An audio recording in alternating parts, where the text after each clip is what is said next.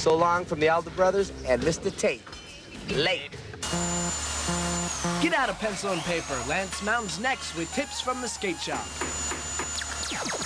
Grip tape.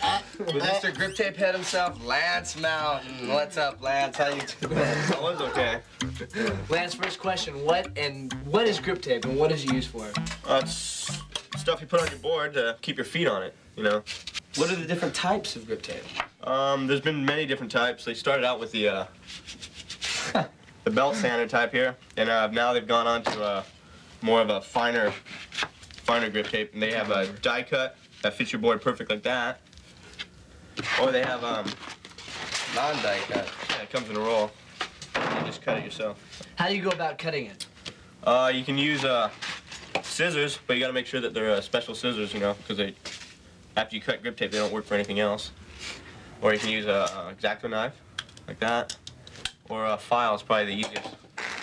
Or you peel off your grip tape, put it on your board, wherever you want it, you know, lay it down,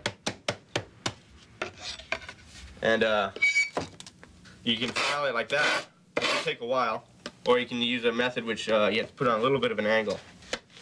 And uh, cut it right off like that.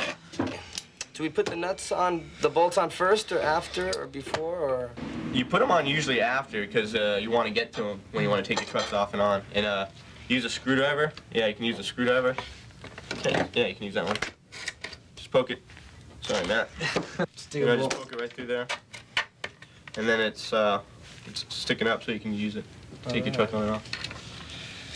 Well, Lance, that was great, man. Grip tape with Lance Mountain. Hey, we're not finished.